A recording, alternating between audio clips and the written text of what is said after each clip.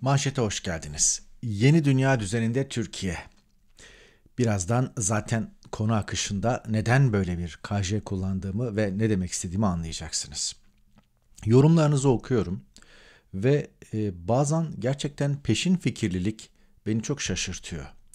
E, mesela bu yani Tayyip Erdoğan'ın Abdülhamit döneminde hiç toprak kaybedilmedi ki kürsüden demesi ve işte buna verilen cevaplarla ilgili değil. Ben burada bir konuyu anlatıyorum.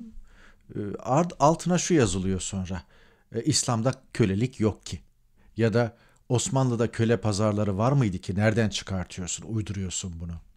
Allah aşkına o kadar yorum yazana kadar e, Google diye bir araç var. Artık kütüphanelere gitmenize, kitaplar karıştırmanıza, ilgili literatüre ulaşmanıza falan gerek yok. Eskiden bunlar zordu yani.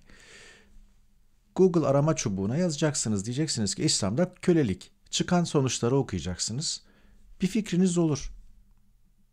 Ayetler, o konudaki hadisler, siyer yani İslam tarihi, ilk dönemde yaşananlar, sonrası uygulamalar.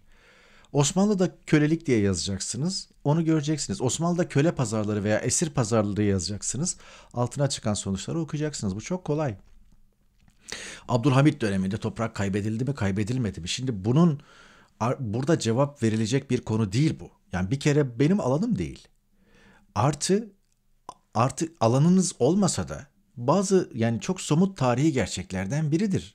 Abdülhamit döneminde 30 küsür yıllık e, padişahlığı döneminde iki Türkiye büyüklüğünde hatta daha fazla toprak kaybedildi. Bunun için gerçekten tarihçi olmaya da gerek yok. Fakat işte kürsüden bu ifade edildiğinde aşağıya yansıması farklı oluyor. Kürsüdeki tarih anlatıcısının e, laflarına aşağıdaki inanıyor. Bu devlet başkanı da olsa. Ve bunu düzeltecek bir mekanizma da yok. Siz istediğiniz kadar sosyal ağlarda çırpının. Propaganda aygıtları pro, böyle bir şey. Yani insanlar bilmiyor, bilmek de istemiyor. Ve bildiğini okuyor. Yani yan yana düşündüğünüzde e, farklı sonuçlara ulaşabilirsiniz. Bir de elbette propaganda aygıtları bu, bu zararsız bölüm. Bir de e, gerçekten kamuoyu oluşturma, toplum mühendisliği ya da e, halkları, fikirleri belli yerlere kanalize etme, belli yer, belli şeyleri o kafalara çakma meselesinde o ayrı bir uzmanlık devreye giriyor. E, devlet, istihbarat ve onun işte bir takım propaganda merkezleri belli gazetecileri, belli siyasetçileri, belli akademisyenleri kullanarak bir fikriyat oluşturuyor. Bugün başlarken asıl dikkat çekmek istediğim bu. Yoksa İslam'da kölelik ya da Abdülhamit dönemindeki toprak kaybı falan değil. Onlara bakar tahsi, e, tavsiye edersiniz. O şekilde bilmeniz de çok fazla bir zararı var mıdır yok mudur bilmiyorum. Ama e, özellikle şu son dönemde konjonktürel olarak yaşanan gelişmelerin tepesi nasıl algılamanızı istiyorsa o şekilde e, beyinlere, beyinlerinize nakşedildiği veya böyle yapılmak istendiği bir dönemden geçiyoruz. Çokça işte son haftaların moda tabiriyle MIT tarafından devşirilen gazeteciler, devletin istihdam ettiği gazeteciler, devlete çalışan gazeteciler konusu. Erkam Tufan'ın YouTube yayınında Hayko Bağdat'ın açtığı konuya Ergun Babahan öyle bir daldı ki enteresan tanıklıklarını, tanıklığını anlattı. Yakın döneme dair. Birlikte izleyelim.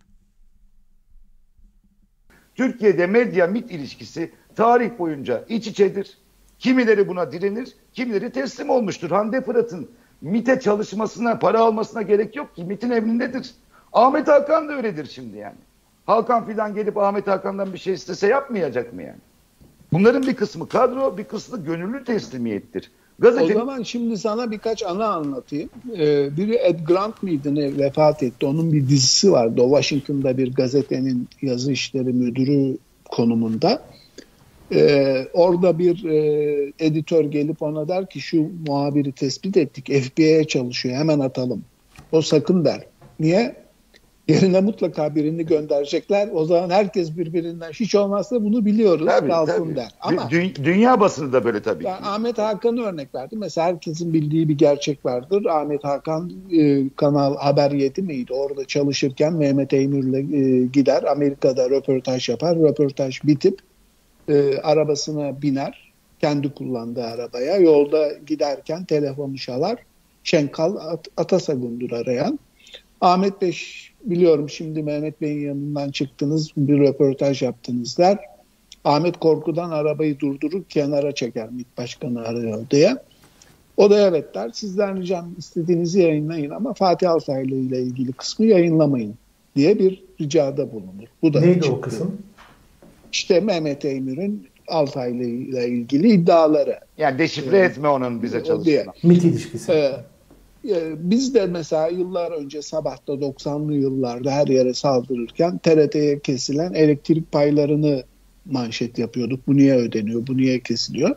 O zaman bizi genel kurmaydan aradılar. Biz bu para çok önemli. Orada çalışanların yarısı istihbarata çalışır TRT'de. Biz onları muhabir gibi dünyanın her yerine göndeririz ve bilgi toplarız. Bunu yapmayın diye bir şey gelmişti bize de. Ee, yani sadece MIT değildir bu. Genel kurmay askeri istihbarat vardır. Genel kurmayda eskiden hala da vardır duvarda bir tablo olduğu basın halk ilişkiler bölümünde bir çizgi çizildiği, kendilerine yakın ve çalışanların işte mavi mi, mavi olarak o çizgiye yakın, uzak olanların ama düşman olmayanların daha uzak isimlerin yazıldığı, kendilerine karşı ve eleştirel durumda olanların, İslamcı ya da Müslümanların da o zaman kırmızıyla işaretlendiği anlatılırdı bize. Ama işte emniyet istihbarat var, MIT var, genel kurmay var ve bunların e, diyorsun illa para mı alacak belki üst düzeyler almıyordur ama başlangıçta herkes Diyanet Vakti ve Kızılay kadrosundan e, aldığı söyleniyor ve e, bunlar oralardan emekli de oluyorlar. Çifte emeklilikleri oluyor. Yani e, sadece vatan millet için yapılan değil. Bir maddi kısmı var. iki e, medyada senin yolunu açarlar. Yani e, devlete bağlı medyada yükselmenin yolu e, bu kurumlarla işbirliğinden. Peki burada böyle. Şimdi Ahmet Hakan demiş ya Cevher'i güveni kale almayın, kale almıyorum. Kale aldığının belgesi karşınızda. Öyle kale alıyor ki Cevheri Güven hatırlayın e, Ankara temsilcisi Hande Fırat'ın MIT'le ilişkisini deşifre etmişti. Ki Hande Fırat'ın MIT'le ilişkisi e, MIT'in e, Kuzey Irak'ta PKK elindeki görevlileri tarafından da ortaya konmuştu.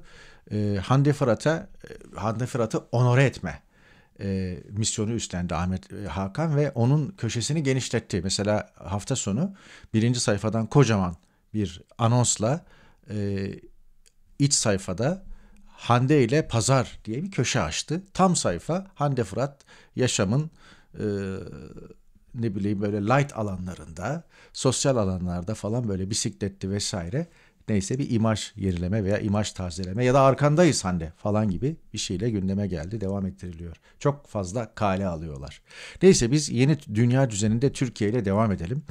Giorgia Meloni, e, İtalya'nın yeni başbakanı olacak ve çok genç 1977 doğumlu ki e, bu yaşlardaki insanlar artık başbakan e, hükümetin başı olmaya başladılar. İngiltere'de Liz Truss da öyle. Erken yaşlardan beri e, siyasetin içerisinde sol sağ aşırı sağ aşırı sol falan gibi laflar kullanılıyor ama bu çok doğru değil. Georgia Meloni'nin ifadelerine bakmak, söylemine bakmak icap ediyor. Baktığınızda işte Mussolini'nin ne yaptıysa İtalya için yaptığını söylüyor. Mülteci karşıtı sert politikaları var. AB karşıtı sert bir söylemi var vesaire. Baktığınızda o laflara o şeye e, faşist demeseniz de neofaşizm ya da post faşizm gibi tabirler var. O kılıfa uyuyor. Yani aşırı sağ dediğinizde mesela Meloni'nin Türkiye'deki karşılığı nedir? Devlet Bahçeli mi? Ümit Özdağ mı? Meral Akşener mi? Hangisi? Dolayısıyla Türkiye'de hangisi aşırı sağdır mesela? Ee, sağ sol dediğinizde ben sağ ve sol meselelerinin geçen yüzyılda kaldığını düşünüyorum. Bu dönem zaten iktidara gelen partiler sol da olsa sağ da olsa uygulamalarının değişmediğinden de bunu görüyorsunuz. Herkes aynı serbest piyasa rejiminde benzer e, işi tutuyorlar yani. Biri yolun sağından gidiyor öbürü solundan gidiyor gibi bir şey. Veya biri sağ kaldırımı öbürü sol kaldırımı kullanıyor gibi bir şey uygulamalarına bakmak lazım. Ee, ilk kadın başbakan İtalya'da. Bakalım ne olacak, iş nereye gidecek? İlk tebrik edenler de Fransa'dan Le Pen ve e, Macaristan'dan Orban olmuş. Yani bu da zaten e, bir veri. İran'daki eylemler devam ediyor. Fakat İran'daki eylemlerle ilgili gözden kaçırılan şu, İran'ın eylemselliği diye bir gerçek var. 40 yıldır, 43 yıldır bu var. İran'da kadınlar, erkekler hemen her şeyi geriye doğru yıllar içerisinde protesto etmişler. Bu rejim polislerine rağmen, devrim muhafızlarına rağmen böylece gelmiş. Ekonomik konularda da sokağa çıkmışlar, susuzlukla ilgili de sokağa çıkmışlar, işte hak taleplerinde de sokağa çıkmışlar filan. Yani bu yeni olan bir şey değil. İran'ın Arap Baharı ya da İran'ın baharı. İran'da acaba yönetim mi devriliyor gibi yorumlar son derece e, erken yorumlar. E, bir muhalefet örgütlülüğü içerisinde değil, bir liderleri yok ve rejim sert tedbirlerle bu eylemleri bastırıyor. Dışarıda da çok fazla bir destek bulduğu yok söyleyeyim. Uluslararası Af Örgütü falan gibi e, sivil e, toplum organizasyonlarından destek buluyorlar ama e, ne medyada elbette e, yayımlanıyor ama iç sayfalarda e, ne de e, devlet başkentler işte batı başkentleri nezdinde çok fazla bir e, itiraz var ya da çok fazla bir rahatsızlık belirtisi var. Onu da belirtelim. Fakat İran'ın gördüğü görece son 40-45 yılı içerisinde ya da işte devrimden bu tarafa e, en büyük eylemler olarak tarihe şimdiden geçti. Mersin'de polis evine silahlı bir e, saldırı oldu. Mersin Mezitli Tece mahallesinde e, Süleyman Soylu terör saldırısı dedi yaptığı açıklamada. Bir polis şehit oldu dedi. Bir polis yaralı, bir vatandaş bir de seken kurşundan yaralanmış. Terör örgütü PKK dedi. Bu o, olay üzerine acaba seçimlere doğru bir kaos fitili mi ateşleniyor? Ya da ne oluyor? Birileri bir şey mi yapmak istiyor gene? PKK yıllardır bir eylemselliği yok. Acaba bu gerçekten PKK ise e, neden şimdi? Neden böyle bir ortamda Mersin seçildi filan gibi sorular akla geliyor. Çok erken bu soruları sormak için. PKK mıdır değil midir? Oradan yapılacak açıklamaya da bakmak icap eder. Ee, bir derin iş midir? Değil midir? Ee, bu ancak günler içerisinde ortaya konabilir. Sıcağı sıcağına analiz edilecek bir konu değil en azından şimdilik. O arada Yunanistan'da sular e, sıcak tutulmaya devam ediliyor. Türkiye Yunanistan'ın Ankara Büyükelçiliğine Sakız ve Midilli adalarındaki askeri yapılanma nedeniyle nota vermiş. E, Voice of America, Amerika'nın sesi böyle geçmiş. O arada sabahın bugünkü manşetinde Yunanistan batağa sürükleniyor lafını ezbere değil tabii Erdoğan'ın öne çıkarmışlar. Sol tarafta da e, e enflasyon aşağı doğru inecek diyor Nurettin Nebati. Yıl sonu %65 civarı olur. Bu adam yalanlana yalanlana bir hal oldu. Kendini de yalanlaya yalanlaya bir hal oldu ama e, zırvalamaktan geri durmuyor yani. Enteresan. Neyse dönelim. Erdoğan'ın PBS televizyonda Amerikan 20 Eylül'de verdiği söyleşi hala konuşuluyor. Bu söyleşinin bir bölümünün e, Türkiye'de yayımlanmadığı, Türkçe'ye tercüme edilerek yayımlanmadığı, özellikle Anadolu Ajansı tarafından servis edilmediği e, ortaya çıktı. Bunu da ortaya çıkaran Halk TV'de Barış Terkoğlu oldu. Bu İngilizcesi, Türkçesi de bu. E, PBS söyleşisinde e, sunucu Erdoğan'a Acaba diyor Amerikan seçimlerindeki gibi e, adaylardan biri sandığı devirir mi ya da sonuçları kabul etmezse ne olur falan diyor. Trump son seçimleri kabul etmemiş ve işte 6 Ocak'taki kongre baskını gerçekleşmişti. Hala soruşturması devam ediyor. Trump da buna cevap verirken bunlar olağan şeyler her zaman oluyor diyor. Böyle bir şey olabilir mi? Bizim ülkemizde işte seçim güvenilirdir, en doğru yaptığımız iştir, Asla bir şaibe karışmaz. Seçim sonuçlarına herkes saygılıdır. Kaybedersem hiç bunlar olan şeyler her zaman oluyor. Kaybetmek de var, kazanmak da. Evet. İlk defa Erdoğan'a bu sorunun sorulması önemli ki Erdoğan kaybederse seçim sandığını devirir mi? Sonuçları tanımaz mı? Koltuğunu bırakmaz mı gibi yorumlar yapılıyor. Türkiye'de kimse soramıyor ama Amerika'da gazeteci sormuş. O arada Türkiye'de 22 Aralık 2016'dan bu tarafa yayımlanmayan, yayımlanmak istemeyen, sansürlenen, özellikle devlet baskısıyla baskılanan bir haber ki iki Türk askerinin IŞİD tarafından e, yakılarak katledilmesi, filme çekilmesi ve yayımlanması yıllarca inkar edildi, görmezden gelindi. Ailelerine doğru dürüst haber verilmedi ama işte Sefter Taş ve Fethi Şahin'di bu askerler.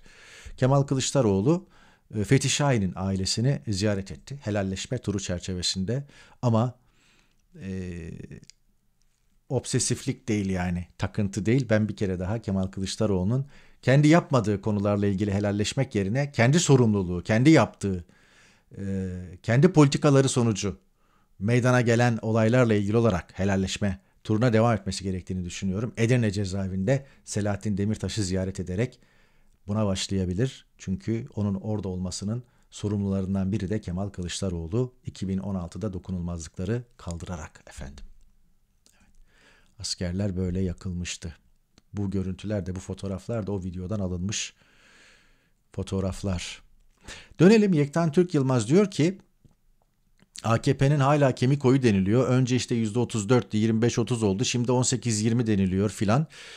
Ee, bu memleketin 40 yıllık siyasetinde kesin e, kani olduğum bir nokta kemik omurga çekirdek olamayacağı demiş. Yani AKP'nin kemik oyu yoktur arkadaş diyor. Pek katılmıyorum çünkü e, beslenen e, varlığını ve devamlılığını, ekonomisini Tayyip Erdoğan'a borçlu olan, AKP'ye borçlu olan bir kitle var. Bu kitle 20 yıl içerisinde özellikle son yıl, son 10 yıl tahkim edilerek oluşturuldu. Bir 18-20'lik bir kitle var. Bunu kabul etmek durumundayız. Hele başta da konuştuk. Bu yoğun propaganda altında bu bu kitlenin yönünü değiştirmesi pek olası gibi görülmüyor. Muhalefetin kararsızlara çalışması lazım. Bu grafiği ben yapmadım. Sözcü gazetesinin internet sitesinden aldım. Dört duvar arasında 400 gün Emekli paşalar 28 Şubat davasında müebbet hapse çarptırılıp cezaevine atılmıştı. Yaş ortalaması 80 civarı. En genci 75 yaşında yanılmıyorsam. 80-82 var. E, bu yaşta insanlar cezaevinde tutulmaz tutulmamalı. İnsan hakkı ihlali. Suçlu olabilirler. E, yargılanıp mahkum olabilirler ama cezaevi koşulları onların yaşı, sağlık durumları itibariyle e, o sağlıksız ortamlarda e, yaşamalarına engel cezaevi koşulları. Bir biçimde tarih nezdinde, kamuoyu önünde, mahkeme nezdinde mahkum olsalar bile davaları davaları tartışmıyorum. Ee, bunu ev, evlerinde çekmeleri temin edilebilir. Tıpkı geçenlerde tahliye edilen Çevik bir gibi. Bir ikinci konu. Hani kumpastı? Ben kumpas değil demiyorum. Kumpassa bu paşaların içeride olmaması icap ediyordu.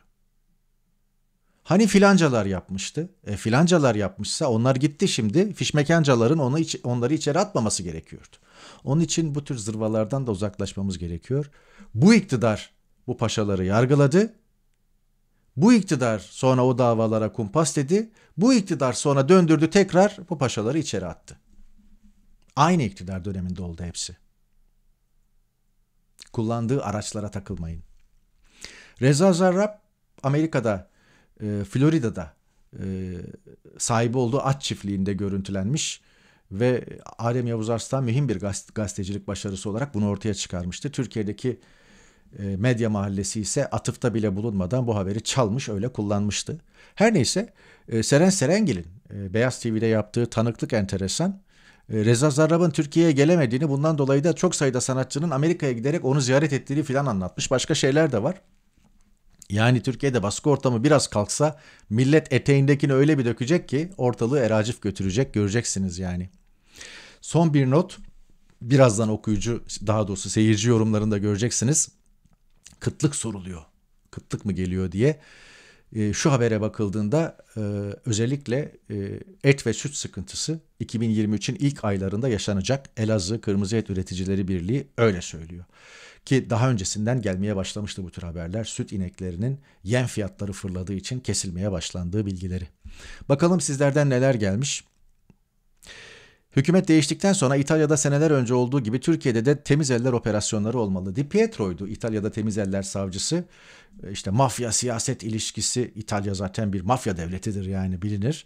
Özellikle Sicilya mafyası vesaire. Aralarındaki çatışma, rant paylaşımı falan Di Pietro kudretli bir savcı olarak geniş yetkilerle olayı ele aldı ve başlattığı soruşturma bütün dünyada canlı yayınlarla takip edildi. Temiz eller operasyonu dendi. Di Pietro'ya bu davadan 10 yıl kadar sonra Türkiye'ye geldiğinde sorulmuştu. 2000-2001 yılı olabilir. Ne oldu temiz ellerden sonra İtalya'da durum diye. O günkünden daha beter demişti. Bunu hatırlattı bana bu yorum. Diploma meselesini konuşun. Diploma meselesini herkes biliyor.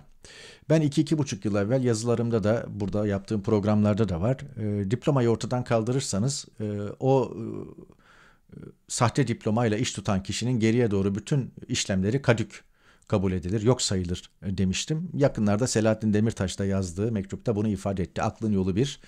Böyle bir ihtimal var ama şu anda Türkiye'deki baskıcı ortam yani hiçbir şey konuşulamıyor, konuşturulamıyor. Yani Erdoğan'ın sağlığını analiz edemeyen insanlar e, Joe Biden'ın kürsüdeki hareketlerinden neredeyse e, tıbbi rapor çıkarıyorlar falan. Böyle bir ortam var. Diploma meselesini herkes biliyor ama onun da konuşulacağı zaman zemin gelecektir. Evet. TV'de göremediklerimizi buradan haber alıyoruz. Kıtlık geliyor mu diye sormuş. Ee, bilmiyorum. Ancak şöyle bir şey var. Ee, Türkiye sadece enerjide, işte doğalgaz, petrol gibi veya teknoloji gibi ürünlerde değil, tarımda, hayvancılıkta da artık yurt dışına bağımlı ve yurt dışında da bir tedarik sorunu var. Haliyle e, 2023'ün ilk 6 ayında belli mal ve hizmetlere erişimde sıkıntı yaşanacak. Bazısı bulunamayacak, bazısı da bazısında fiyatları fırlayacak. Yani bu kışı atlatan atlatır. Böyle bir durum var. Yurt dışında yapılan seçimler de bizdeki gibi tartışmalı oluyor mu? Amerika'daki son seçimler tartışmalıydı. Trump taraftarları bu tartışmayı çıkardı. Hala seçimlerde hile yapıldığını iddia ediyorlar. Ama Avrupa'da yapılan seçimlerde ben buna hiç tanık olmadım. İngiltere'de kaç seçime e, geçirdik? Yerel ya da genel seçimler. İşte İtalya'da yakında oldu, İsveç'te oldu. Hiç bu konuda bir şaibe, şüphe, bir tartışma dahi olmuyor. Türkiye'nin de yakın zamana kadar e, gerek seçim, gerekse sınav sistemi, ÖSYM'nin yaptığı sınavlar falan hiç tartışılmazdı. Bundan 20 sene, 15 sene öncesine kadar hatta.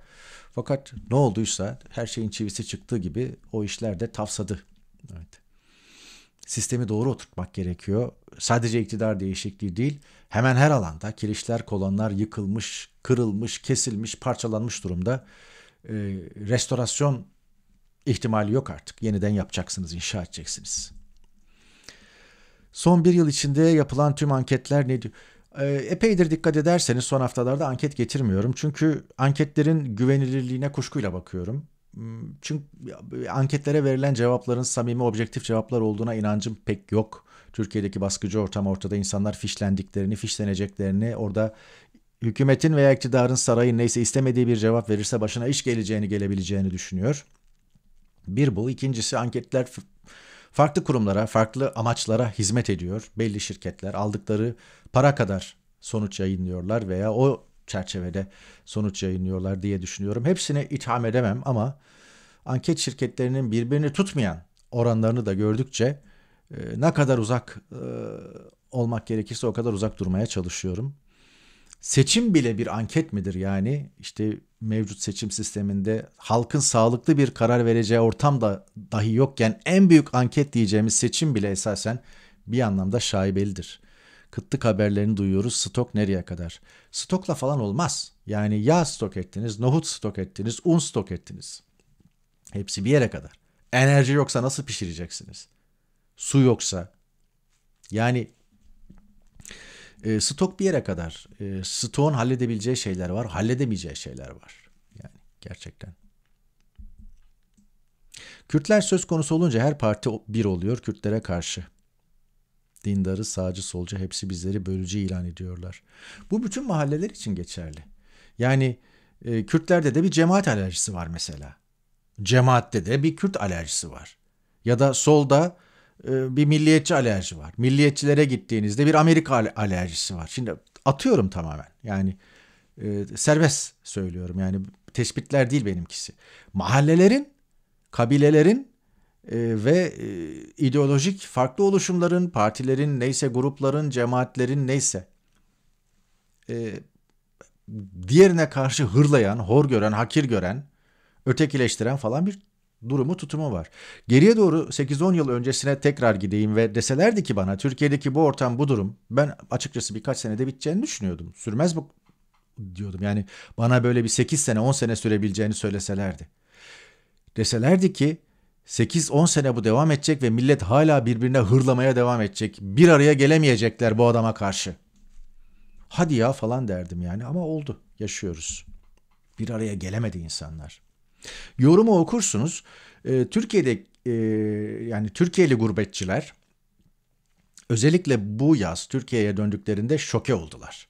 Çünkü önceki yıllardaki ziyaretlerinden çok daha fazla para harcadılar. Fiyatların dörde beşe katlandığını gördüler ve yakınmaya, sızlanmaya başladılar. Daha önce ben e, bunu görmüyordum, gözlemlemiyordum. Gelen insanlara soruyorum nasıldı falan diye. Herkes pahalılıktan şikayetçi. Öncesinde cebindeki 100 doları, 100 euroyu veya 100 sterlini bozduran bir hafta 10 gün rahat yaşıyordu. Alışveriş yapıyordu, yiyordu, içiyordu. Şimdi öyle olmuyor. Bire bire geldi neredeyse. Ondan dolayı ciddi bir pahalılıktan yakınma var. Evet. Erdoğan'ın başkanlık seçimini alması ve meclis çoğunluğunu kaybetmesi senaryosunun gerçekleşmesi durumunda ne olur? Erdoğan görevini yapmaya devam eder. Zaten AKP kulislerinde hava parlamentoda çoğunluğu kaybetsek de başkanlık bizim olmalı biçiminde. Zaten parlamentonun altını boşalttı Erdoğan. Parlamentoyu dinlemiyor. Parla e, fakat belli şeyleri çıkarması, bütçe veya belli kanunlar için falan mecliste bir çoğunluğa ihtiyacı var. Onu da zaten MHP ile sağlamış durumda. E, parlamentoda çoğunluğu kaybederse ilk yapacağı şey parlamentoda çoğunluğu kazanmak için e, bölme harekatına girişmek. E, ikincisi e, parlamentoyu etkisiz hale getirmek. Başkanlık kararnameleriyle zaten aslı aslı kestiği kestik. Bunu çok daha zecri bir şekilde uygulayacaktır. O açıdan milletin iradesi falan çok fazla umrunda olmaz Tayyip Erdoğan'ın. Erdoğan başkan seçilmek istiyor. Parlamentoyu kaybetmesi ve oradaki çoğunluğu yitirmesi bile seçenekler arasında. Silgi kaç para diye sormuş bir seyircimiz. Burada kastı şu. E, Türkiye medyasında özellikle A Haber Sabah gibi medyada İngiltere'de öğrenciler silgi yiyor açlıktan gibi böyle haberler çıktı. Başlık da böyle atıldı. Haber Guardian'da çıktı. Guardian gazetesi e, özellikle ilköğretim okullarında okuyan öğrencilerin, çocukların okul yemeğine ulaşamadıkları, ailelerin sembolik fiyatlarla e, yani gerçekten sembolik e, okul yemekleri yani 2.75 3 sterlin gibi paralar ilkokul e, seviyesindeki çocuklarda en azından benim yaşadığım bölgede bu sembolik ücretleri bile ailelerin karşılayamadığı e, ve öğrencilerin e, yemek kutularında, yemek çantalarında veya sefertası neyse e, boş götürdükleri okula, e, yemek saatlerinde ortadan kayboldukları falan gibi e, bir habere imza attı. E, Anaokulunda ve sonraki ilk iki yılda öğrenci yemekleri karşılanıyor devlet tarafından. Fakat ikinci sınıftan sonra dediğim gibi sembolik bir ücretle velileri tarafından karşılanıyor. Orada o haberin içerisinde işte bazı öğrencilerin açlıktan silgi yediği gibi filan bir e, satır geçiyordu. Onu aldılar e, manşete koydular ve sanki burada açlıktan bütün öğrenciler kırılıyormuş ve silgi yiyormuş gibi bir hava ortaya çıktı. Bu çok böyle değil ama bir sıkıntı olduğu doğru.